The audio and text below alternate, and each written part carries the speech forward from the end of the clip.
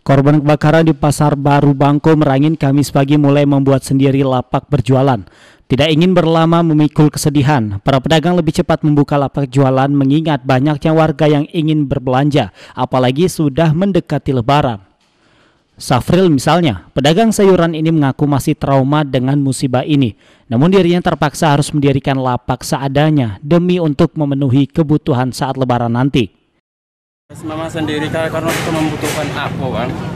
Oh, usahanya kan kita mau menempuh lebaran. Jadi ya mau tak mau harus kita kerja sendiri kan. Kalau tindakan mungkin pengurus pasar belum bisa diharapkan kini kan.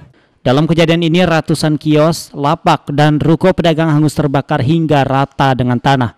Sejauh ini pedagang mengaku belum ada bantuan, baik dari pemilik tanah maupun pemerintah. Para pedagang berharap ada uluran tangan dari semua pihak untuk mengurangi beban dan kerugian mereka. Lut Hidayat, Jambi TV.